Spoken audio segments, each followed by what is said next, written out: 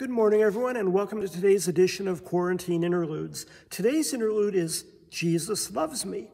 Now, this hymn is often thought of as merely a children's hymn, but this hymn has given inspiration and comfort to Christians of all ages for many years.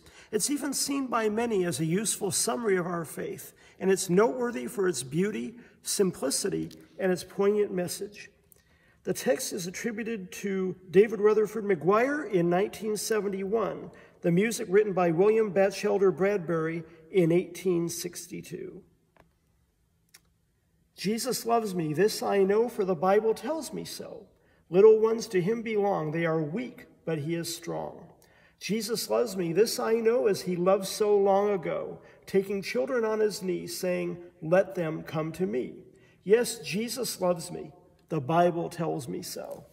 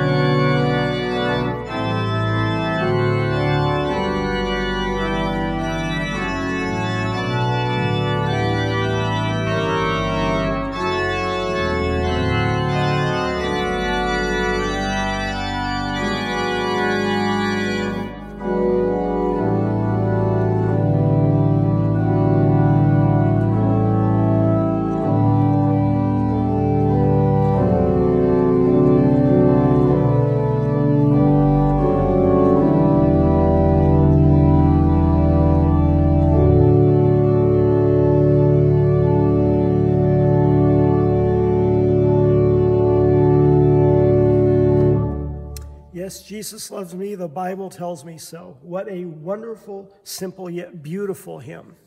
And I always like to invite you to please continue to check claremontpress.org so you'll be aware of what is happening in the church's life. Thank you so much for joining, with me, joining me again today. Look forward to seeing you once again next time at the same time, right here on Quarantine Interludes.